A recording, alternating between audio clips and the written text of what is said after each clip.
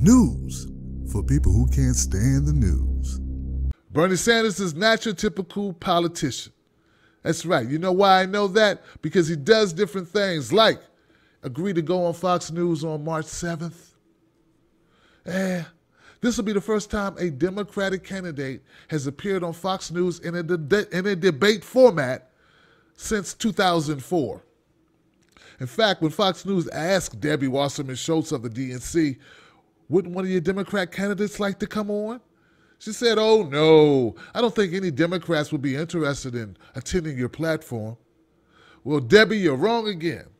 Because, see, Bernie Sanders is playing this to win. Hillary declined, so I guess Hillary's playing this not to lose. You know, maybe she's a little afraid of the questions she may be asked, such as How much money did Trump give you? And how much money did you take from lobbyists? These are all questions, you know, Clintons don't want to answer right now.